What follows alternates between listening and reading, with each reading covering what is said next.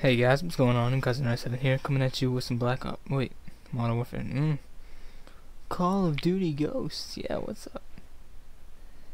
Been waiting for this moment for about a good, good 11 months, you know? Okay, so this is the startup screen. And as you may know, yes, Evolved never does not play Call of Duty. And, um, there's been a lot of questions about the downloading installing the game on your on your um Xbox and this is pretty much it right here. This is me just I just cut it on started recording. So you say press um start button to do it. And it goes through all this. And really it doesn't it's not a time consuming task.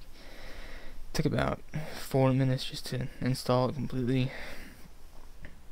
And I uh went to midnight release last night. Or this morning I guess you could say. It's pretty nice. And just here just goes to a bunch of pictures a bunch of pictures. And I just woke up and it's about uh, 6 6.15 and I am tired. But it's good. I was gonna wake up around 4 go ahead and install this disc maybe get some game playing but sometimes you need to sleep and you just can't help to sleep. And yeah and they're really pushing campaign hard. Cam oh, campaign, campaign hard this year, and they really want because they um, want you to play it to get extinction, and you don't have to actually play through the entire campaign. That's it's not true. You just have to play the first mission, which is nice. Cause I know a lot of people don't want to take time to um, play the entire campaign. I never really get around to it till after the next game comes out. I just beat Modern Warfare 3's campaign and Black Ops 2 campaign just is too trippy for me.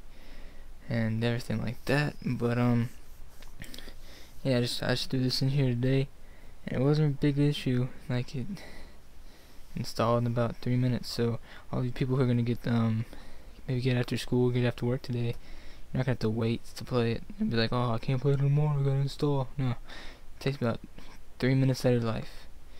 Three minutes is about eh it, it depends on what you're playing, but that could be maybe one game. It's really less than one game though. So yeah, um, now I got to play it. I'll play it when I get home. Um, Badger and uh, yeah, are gonna be playing today. I don't know if they'll be putting out videos, so maybe look for those. I don't know if they're gonna be out or not, cause it'd be kind of hard to play and upload. But they're doing some like maybe a face cam that might that was spoken of. So we'll see how that if that happens. And yeah so pretty much Call of Duty Ghosts not gonna take a lot of your hard drive. So don't worry about that. Be fast quick and easy. Um yeah here I see you. You can watch me uh, download the screen right now. Probably haven't even watched this far but that's okay. Because I just want to show you what it's like. I haven't seen many videos about people installing the game. And um, here coming to the end. And actually go really fast here at the end and so yeah. I hope you guys enjoy this video.